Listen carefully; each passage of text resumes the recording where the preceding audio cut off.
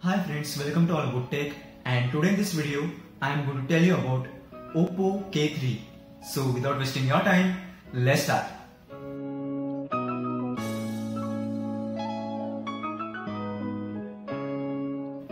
Okay, before starting this video, if you are not subscribed my channel, please subscribe it and also hit the bell icon to get the latest videos notification.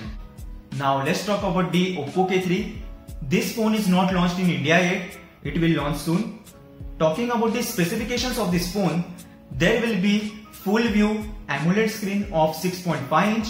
Also there will be dual rear camera setup of 16 plus 2 megapixel. Also you will get pop-up selfie camera of 16 megapixel. Talking about the processor, there will be I think that there will be 710 chipset, Snapdragon 710 and base variant will be of 6GB RAM, 64GB storage and there will be one more variant of 6GB RAM, 128GB storage. Okay, now let's talk about the battery. So you will get 3765 mAh of battery and it will support fast charging.